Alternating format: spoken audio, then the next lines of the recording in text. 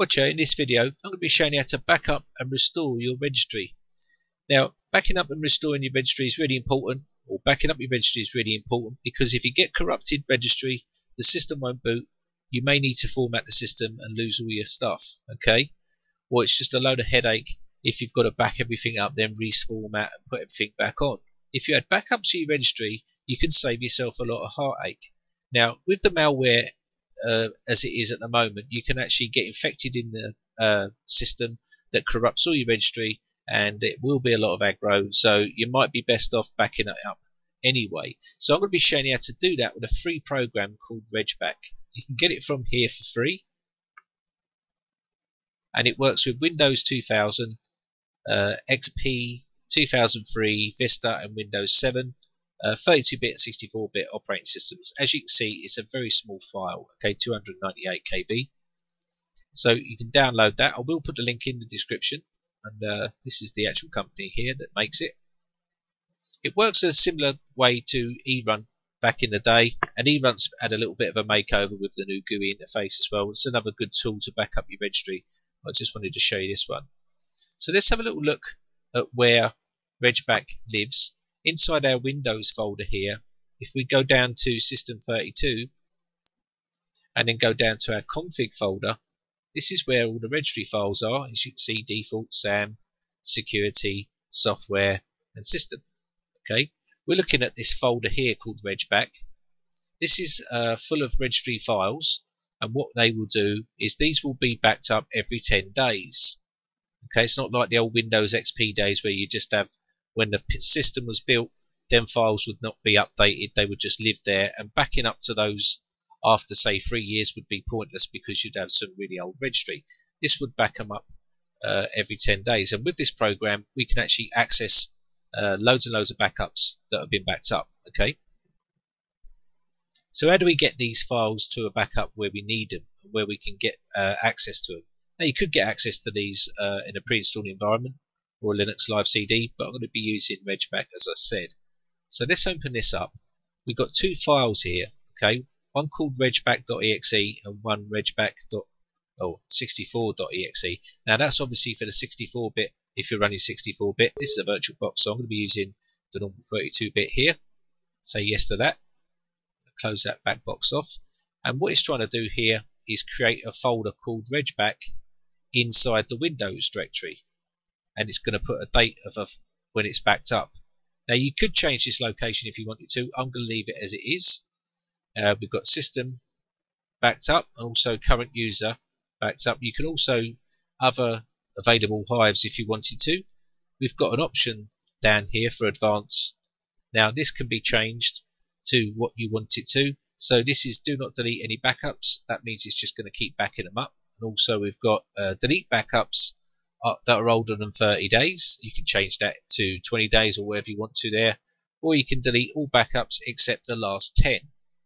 So as you can see, this is how that's going to be backed up. And also we've got overwrite existing backups in the backup folder. And here we can change where it, uh, by default where it's going to be system root, regbak and date. That's where it's going to be backed up to. Okay, so if you had another preference, you could actually change that in here. Okay, so let's go ahead and back it up now. So to go next, and as you can see, it wants to create this folder and this and this um, uh, backup. So I'm going to say yes to that, and I'm going to start, and it's still going to start to make its backup process there. That's all done. As you can see, finished successfully. So I'm going to close this off now.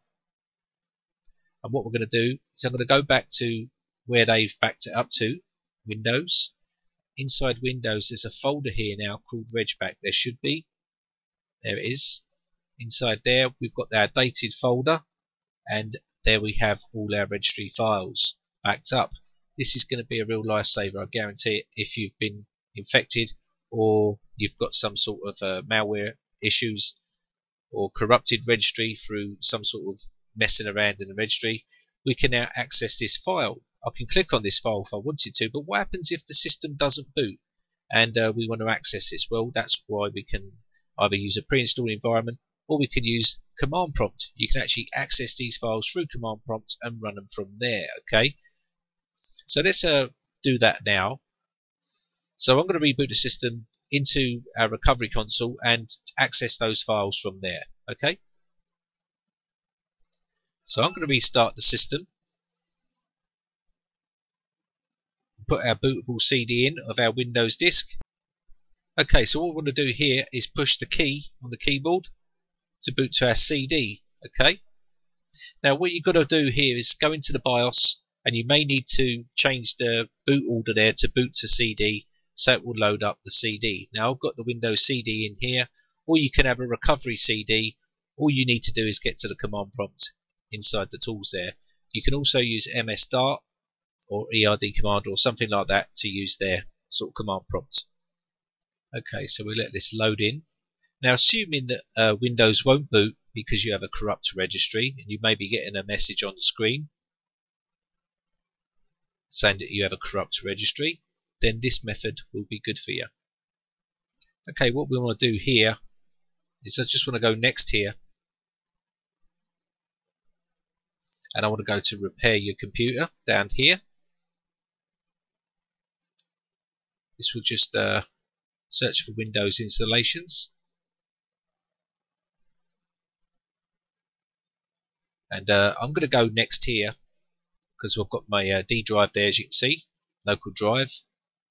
Go next. And what we want is the command prompt. So I'm going to go there. And what we need to do here is uh, change directory. Would help if I push the right uh, key okay so what we need to do is change directory to our Windows drive. Okay just make sure we've got files in there. Oh we have good.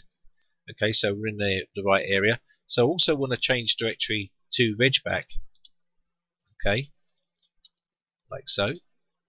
Now we're in the regbak now we can do dir again just to see that folder. Now you can see the folder it's created.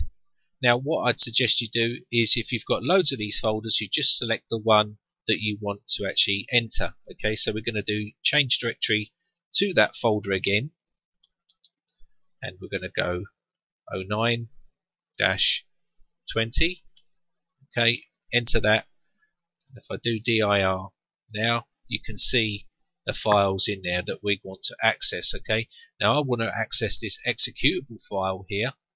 So what I want to do is uh, just type reg res.exe like so, push enter, and it will now give us this box that's popped up.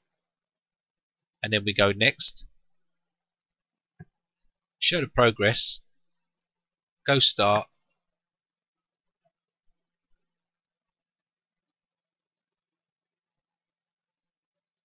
Go next. Finished.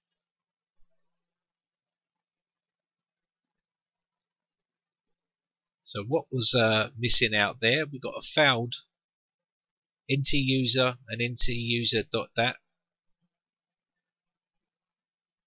Okay, so the main files, which are the config file, the SAM file, the security file, which is the ones we wanted, have actually gone across. The only two files that didn't go across was the uh, user that. So I'm going to close that off now. I'm going to exit this.